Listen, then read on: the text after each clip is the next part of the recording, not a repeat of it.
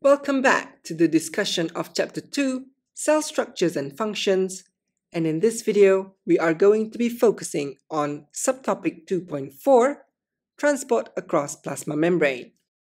These are the learning objectives that you need to complete at the end of the lesson. At the end of the lesson, students should be able to make an overview of the various transport mechanisms across the membrane. Students should also be able to explain the various transport mechanisms across the membrane. These includes passive transport and active transport. There are two types of transport across membrane. These are passive transport and active transport. Passive transport refers to the transport of substances across plasma membrane down the substance concentration gradient without using energy. However, active transport refers to the transport of substances across plasma membrane against the substance concentration gradient by using energy. There are three types of passive transport. These are simple diffusion, facilitated diffusion, and also osmosis. In active transport, you will learn about sodium-potassium pump and also bulk transport. But for now, let's focus on passive transport first. The first type of passive transport is known as simple diffusion. When writing down the definition of simple diffusion, we always need to begin here. Simple diffusion refers to the transport of substances across plasma membrane down the substance concentration gradient without using energy directly via the plasma membrane, as you can see in the diagram here. This substance directly crossed the plasma membrane from the extracellular fluid into the cytoplasm. Only certain substances with certain characteristics can travel this way. This include if the substance is non-polar, it becomes lipid soluble. And since the plasma membrane is made up of phospholipid bilayer, that is why nonpolar substances can simply cross the plasma membrane. Example of such substances includes steroid hormones like estrogen and testosterone. If the substance is very small in size, they can also travel this way. These includes water and gases such as oxygen and carbon dioxide. If the substance is too big or they are charged or polar molecules, they will require the help of transport protein to be transported across the plasma membrane. There are two types of transport proteins. We have the channel protein and also the carrier protein. Since the movement of these substances required facilitation by transport protein, hence this method of transport is known as facilitated diffusion. Example of substances transported across the plasma membrane via facilitated diffusion includes glucose, sodium ion, and chloride ion. The third type of passive transport is known as osmosis. Osmosis specifically look at the movement of water molecules across the plasma membrane. Since osmosis is a passive transport, so osmosis must refer to the movement of water from the region with a lot of water molecules to a region with less water molecules. The region with a lot of water molecules is known to have high water potential and vice versa. Water potential refers to the tendency of water molecules in a solution to leave that solution in favor of another solution. It is inversely proportional to osmotic pressure, which refers to the tendency of a solution to suck in water from another area. So there are several ways in defining osmosis. Firstly, you can define osmosis by using concentration as the main subject.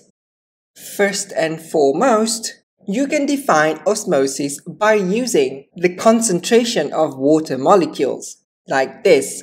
Osmosis refers to the transport of water molecule across a semi-permeable membrane from a region of high water concentration to low water concentration without using energy. Or you can define osmosis by comparing the solution's concentration, like this.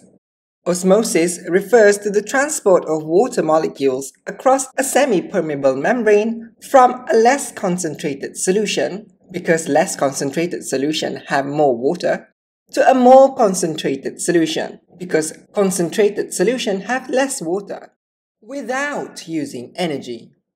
Or, since we have learned about the concept of water potential, we can also define osmosis by comparing water potential, like this.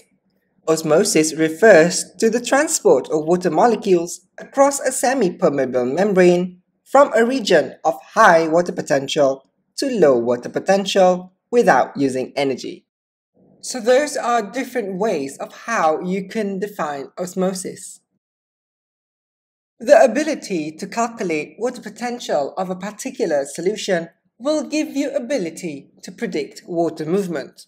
Water potential, often represented by psi, is equal to solute potential plus pressure potential. Let's have a look at the following exercise. This is a plant cell immersed in a solution with water potential of negative 1400 kilopascal. These are the given values for the cell. Let's answer the question. Calculate the water potential of the plant cell. Writing down the formula often give you one mark.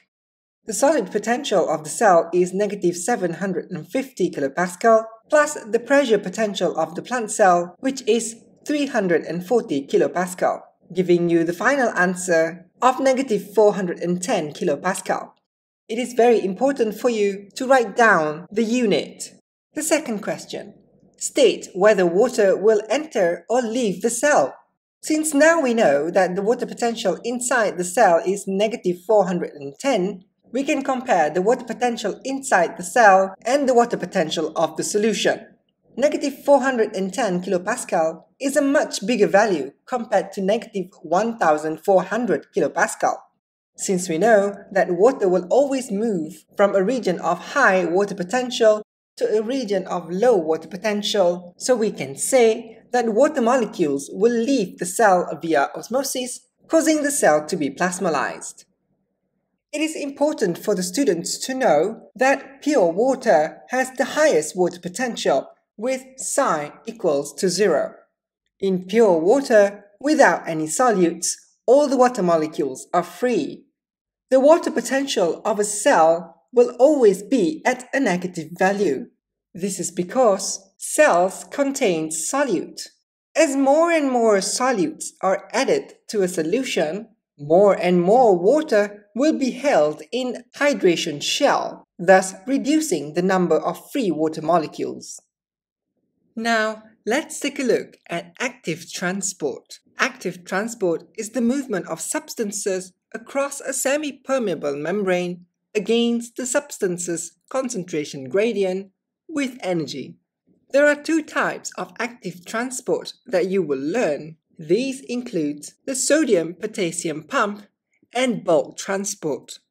In some cells, such as the neurons, they will spend energy in the form of ATP to activate sodium-potassium pump and pump 3 sodium ion out and 2 potassium ion into the cell.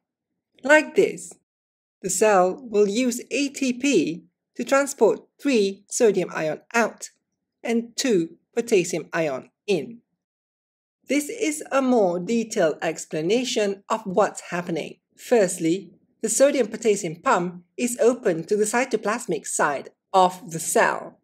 This is its original conformation.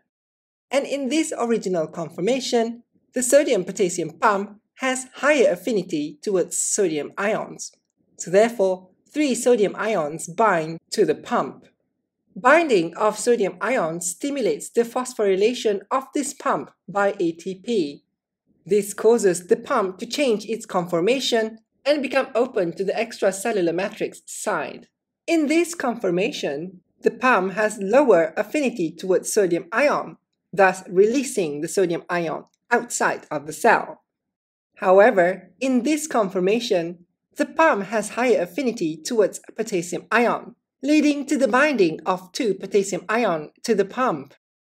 Binding of potassium ion to the pump stimulates the release of the phosphate group from the pump, causing the pump to return back to its original conformation. And in this conformation, the pump has low affinity towards potassium ion, causing the potassium ion to be released inside the cell. The pump is now ready to bind with more sodium ions. This cycle will continue as long there is energy in the form of ATP to be spent on the pump. Next, we have bulk transport.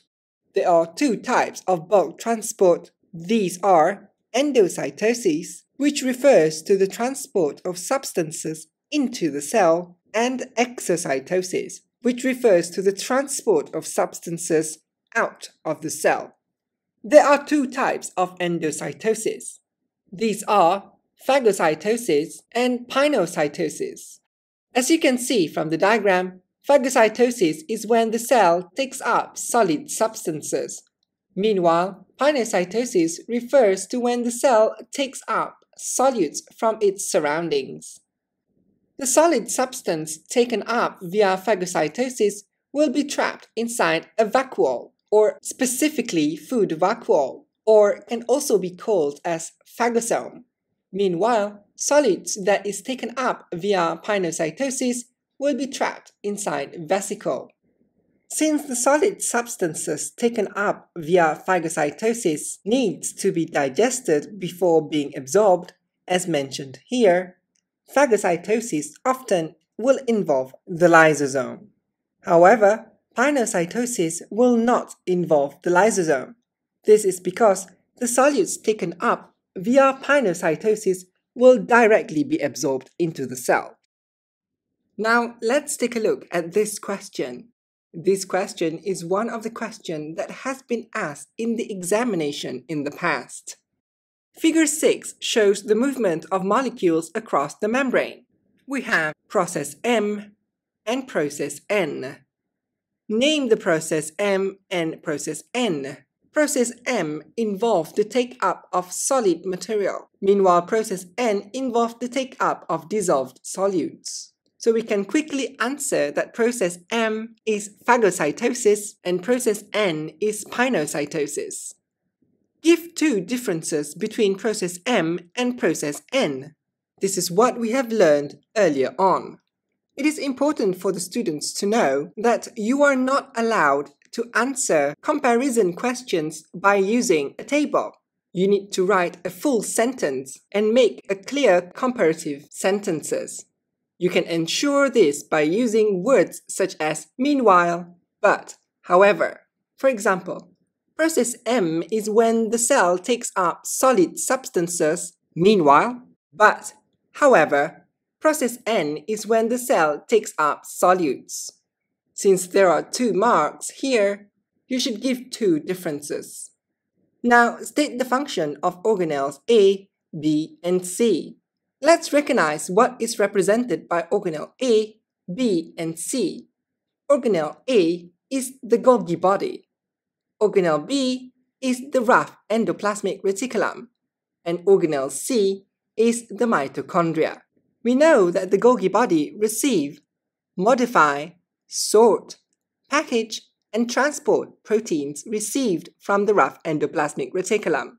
The rough endoplasmic reticulum acts as the site of protein synthesis, and mitochondria is the site of cellular respiration. For question D, can a plant cell undergo endocytosis? State your reason. Plant cell cannot undergo endocytosis. This is due to the presence of rigid cell wall. Question E. What will happen to D after it enters into the cell? We know that in phagocytosis, the solid material will be trapped inside a food vacuole and then fuse with lysosome to be digested and then absorbed. Phagolysosome refers to the food vacuole or phagosome that has fused with the lysosome.